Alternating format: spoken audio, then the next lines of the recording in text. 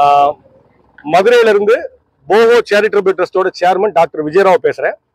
இன்னைக்கு வந்து பாத்தீங்க அப்படின்னா வந்து எதிர்பாராத விதமா நம்ம தென் மாவட்டங்கள்ல தூத்துக்குடி கன்னியாகுமரி திருநெல்வேலி தென்காசி ஆகிய மாவட்டங்கள்ல ஒரு மிகப்பெரிய மழை வெள்ளத்தை நம்ம மக்கள் வந்து எதிர்பாராம சந்திச்சு மிகப்பெரிய கஷ்டத்துக்கு உள்ளாயிருக்கிறாங்க.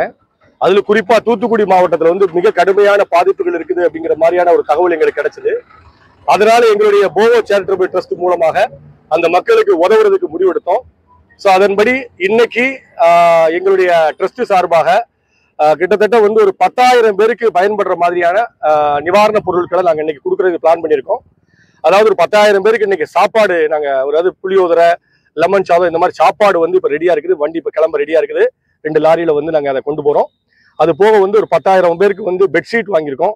ரெண்டாயிரம் குடும்பங்களுக்கு ஒரு வாரத்துக்கு தேவையான அளவுக்கு வந்து பாலுக்கு பால் பவுடரு சீனி தேயிலை அது மட்டும் இல்லாமல் மசாலா பொருட்கள் பருப்பு காய பெருங்காயம் சீரகம் இந்த மாதிரியான வீட்டுக்கு தேவையான கிச்சனுக்கு தேவையான மசாலா பொருட்கள்லாம் வாங்கியிருக்கோம்.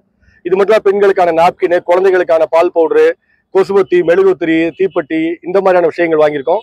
கூடவே ஒரு முப்பதனாயிரம் பிஸ்கட் பாக்கெட் வாங்கியிருக்கோம். ஏன்னா சாப்பாட்டுக்கு இந்த டயத்தில் வந்து ப்ரிப்பேர் பண்ண முடியாதுங்கிறதுனால அது மட்டும் இல்லாமல் பிரெட்டு ரஸ்க்கு பன்னு இந்த மாதிரி வந்து பார்த்தீங்கன்னா ஒரு பதினஞ்சாயிரம் பேர்லேருந்து இருபதனாயிரம் பேர் சாப்பிட்ற மாதிரி அந்த அதுவும் வாங்கியிருக்கோம். எல்லாத்துக்கும் மேலே வந்து இப்போ நைட்டி இப்போ எங்களுக்கு வந்துகிட்டு இருக்கு. அதாவது என்ன ஒரு ஐநூறு பெண்களுக்கு வந்து ட்ரெஸ் கொடுக்குற மாதிரி வந்து நைட்டி வந்து ரெடி ஆயிட்டு இருக்கு. இப்போ வந்து சேர்ந்துரும்.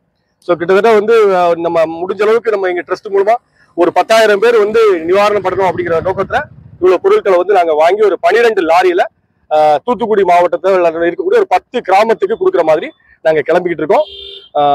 ஸோ எல்லா மக்களும் வந்து இதுல இருந்து விரைவா அஹ், அதுல இருந்து மீளணும் அப்படிங்கிறது எங்களுடைய ஆசை. எங்களால முடிஞ்சதையும் மக்களுக்கு செய்யணும். எல்லாரும் இந்த மாதிரி மக்களுக்கு வந்து அதாவது இருக்கிறவங்க இல்லாதவங்களுக்கு உதவி செய்யறது இந்த நேரத்துல அவசியம் அப்படிங்கிறத தெரிவிச்சுக்கிட்டு விடைபெறேன். நன்றி வணக்கம். இப்ப கிட்டத்தட்ட ஒரு நாற்பத்தஞ்சு லட்ச ரூபாய்க்கு ப்ராடக்ட் இருக்கு சார் அதுல. அதாவது அப்ப அதாவது எங்க ட்ரஸ்ட் சார்பா அஹ், சில தன்னலமான தன்னல சேவை பண்ணக்கூடியவங்களுடைய அந்த ஒத்துழைப்போட ஒரு பத்துல ஒரு நாற்பத்தஞ்சு லட்ச ரூபாய்க்கு ஒருத்தருல ப்ராடக்ட் ரெடி டிஸ்ட்ரிக்ட் என்னென்ன பண்றீங்க சார் எங்க ஒன்லி பொது அதாவது தன்னலமற்ற சேவை மட்டும் தான் சார் அதாவது என்னன்னா இதே மாதிரி மக்களுக்கு சேவை செய்யறது மட்டும் தான் எங்க ட்ரஸ்டோட நோக்கம். இது முழுக்க முழுக்க சேரிட்டபிள் ட்ரஸ்ட் தான். நல்லது நல்லது.